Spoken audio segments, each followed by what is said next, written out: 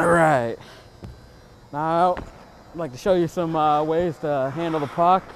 Uh, you always want to secure it, uh, protect it, and uh, just for uh, for the reason that somebody can get it off your, uh, somebody from the opposite team can steal it.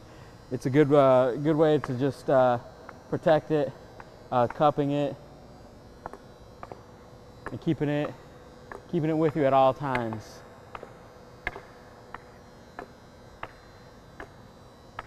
Stick handling is always very important.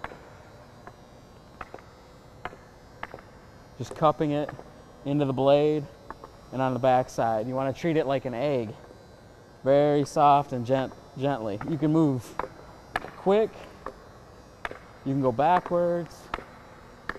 You can go forwards. You go sideways.